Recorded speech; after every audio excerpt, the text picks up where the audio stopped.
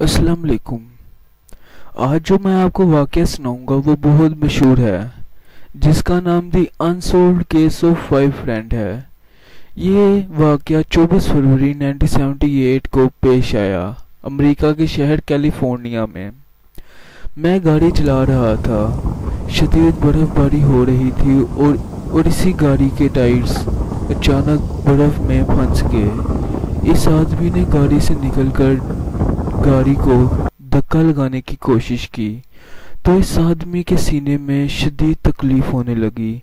उसको डर था कि इसको हार्ट अटैक ना हो जाए। यह सुनसान रोड पर अकेले बर्फबारी में खड़ा था, जिसके आसपास सिर्फ़ पहाड़ थे। यह आदमी वापस अपनी गाड़ी में बैठ गया। इसको एक गाड़ी सामने से आती दिखाई दी। इसने उस गाड़ी को रोकने की कोशिश की, लेकिन गाड़ी नहीं रुकी। इस आदमी की नज़र कुछ लोगों पर पड़ी। ये कुछ आदमी थे। एक औरत और एक बच्चा था। इस आदमी ने इनको भी मदद के लिए आवाज़ दी, लेकिन ये लोग भी जंगल में अंधेरे कहीं गुम हो गए। ये आदमी गाड़ी से निकलकर बाहर चलने लगा और इसे एक गाड़ी दिखी। ये कोई आम गाड़ी नहीं थी। उस वक्त की फ़ेमस गाड़ी थी, लेकिन ये गाड़ी खाली थी। इसे लगा कि ये जिन लोगों की इसने जंगल में जाते हुए देखा, ये गाड़ी उन्हीं की होगी। इस आदमी को आखिरकार बचा ही लिया गया और इसे हॉस्पिटल ले जाया गया। दो दिन बाद जब इसकी तबीयत संभली तो इसे पता चला, पाँच दोस्त गायब हैं, वो भी उस कार में, जो इसने देखी थी।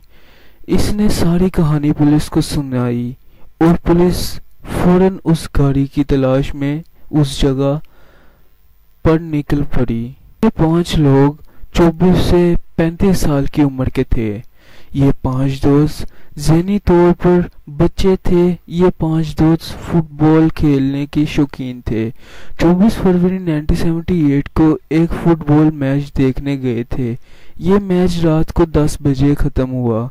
ये लोग वहाँ से निकले और एक स्टोर से कुछ खाने की चीज़ें भी ली। लेकिन फिर ये लोग गायब हो गए।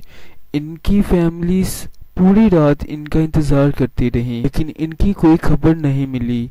ये केस कोई आम केस नहीं है। इन पाँच दोस्तों की लाश जिस हालत में मिली थी, वो आज तक एक मिस्ट्री बन गई है। हुआ यूँ कि पुलिस को इनकी कार एक ऊँचे पहाड़ पर मिल गई। गाड़ी के अंदर खाने की चीज़ों के डब्बे मौजूद थे। गाड़ी की चाबियाँ मौजूद नहीं थी। गाड़ी में अच्छा खासा फ्यूल मौजूद था, लेकिन ये पाँच दोस्त गायब थे। पाँच दोस्तों को ढूंढा गया। शायद बर्फ़ की वजह से इस ऑपरेशन को बंद किया गया। इन दोस्तों को बहुत ढूंढा गया। मगर कुछ अर्से बाद जब इनकी लाशें मिली तो ऐसे मालूम हो रहा था जैसे किसी और ही मखलूक ने इन्हें चीरा पड़ा हो। और इनकी बहुत बुरी हालत थी। ये मिस्ट्री आज तक किसी को समझ नहीं लग सकी।